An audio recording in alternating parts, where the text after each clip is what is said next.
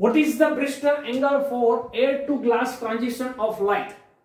NCERT text book का exam exercise number 10.8 है।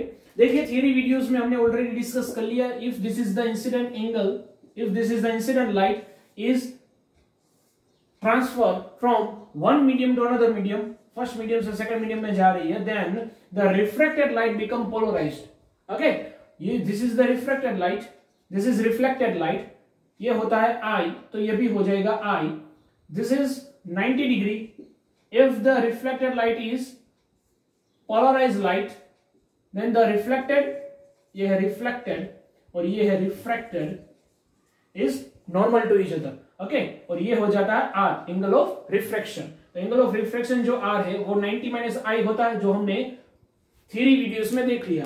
According to that we already proved that tan theta equal to N two by N one ये सुनो according to Snell rule ये prove कर लिया है। ये जो एंगल ऑफ़ इंसिडेंट है, उसी को हम बोलते हैं angle of polarization okay when the reflected light is becoming polarized when the reflected light is polarized light then the angle of incident is known as angle of polarization otherwise उसको हम theta B भी बोलते हैं। Brewster angle जो scientist का नाम है ब्रिवस्टर angle वो भी बोला जाता है N two by N one तो देखिए, यहाँ पर light rays is passing from air to glass यहाँ पर एयर है, यहाँ पर ग्लास है. तो एयर का जो मीडियम है, वो क्या रहता है? वन इंडेक्स एयर का इंडेक्स क्या रहता है? वन ग्लास का इंडेक्स क्या है? One point five so this is tan theta B is equal to one point five by one so tan theta B so इसको थीटा बी कैसा होगा?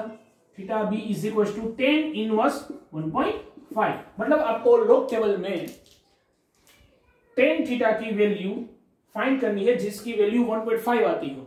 वहाँ पर थीटा कितना होगा, वो लोग टेबल में देखना है ओके टेन इनवर्स वैसे क्या होता है कि अगर आप लोग टेबल देखें तो टेन नेचुरल टेन का पूरा पोर्शन आता है। नेचुरल टेन के पोर्शन में 1.5 वैल्यू देखनी है आपको। तो 1.5 डबल ज़ीरो ऐसा लिखा होगा। उसके सामने एंगल कितना है, वो देखना है। This is the angle of theta B okay so वो थीटा बी जो है, वो आपका, जब एंगल देखेंगे तो नियर अबाउट आएगा 56.90 नियर अबाउट इतना एंगल आपको आएगा। Okay so this is the angle of Brewster angle छोटा सा एग्जांपल था एक्सरसाइज का। न्यूमेरिकल एमसीक्यू वगैरह में ऐसा न्यूमेरिकल आ सकता है। एक्सरसाइज की तरह ही ये हमारा टेक्स्ट बुक का एग्जांपल है, दोनों सेम ही है, लेकिन थोड़ी सी लैंग्वेज चेंज हुई है। अगेन देखिए एग्ज़ाम्पल टेन पॉइंट नाइन में कैसा दिया हुआ? In unpolarized light is incident on a plane glass surface what should be the angle of incident so incident and the reflected become normal to each other देखिए, ये कब होता है?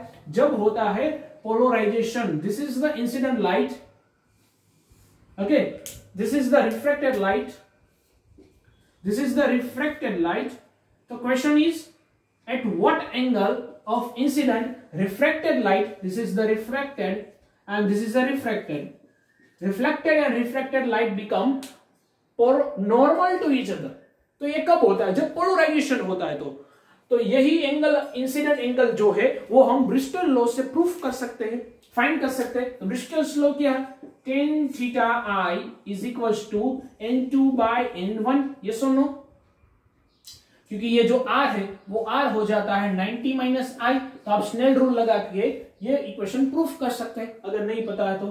तो हमें पता करना है what is the angle of incidence तो थीटा आई तो tan inverse n two by n one हो जाएगा।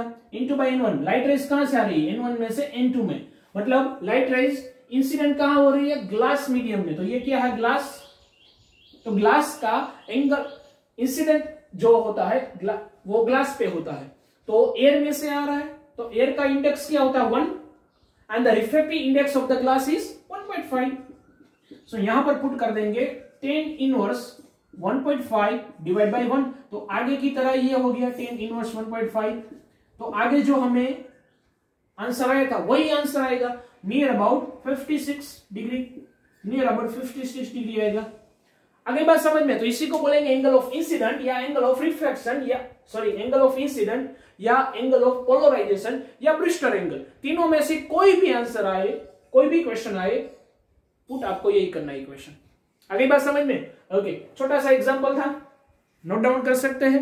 इसमें जो ध्यान रखने की चीज़ है, वो सिर्फ़ यही है कि जो आपका एंगल ऑफ़ इंसिडेंट जब आप फाइंड करते हो तो angle of incidence in one medium में होता है और रिफ्रेक्टेड एंगल जो होता है, वो इन टू मीडियम में होता है। कई बार क्या करते हैं कि मीडियम चेंज कर देते हैं। ऐसा होता है कि लाइट रेस जो है, वो यहाँ से तो एयर में से ग्लास में आ रही है। सपोज़ पानी में से ग्लास में आती।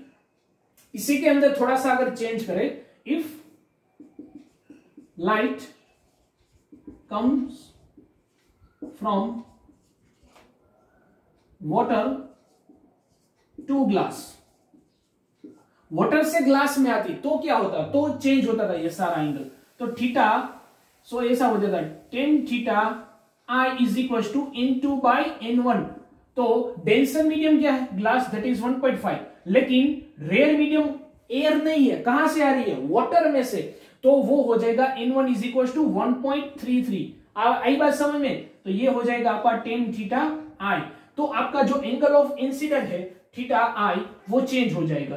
Now the theta i is equal to tan inverse 1.5 upon 1.33 आई बात समझ में? तो ये आपका आंसर जो है, वो चेंज हो जाएगा।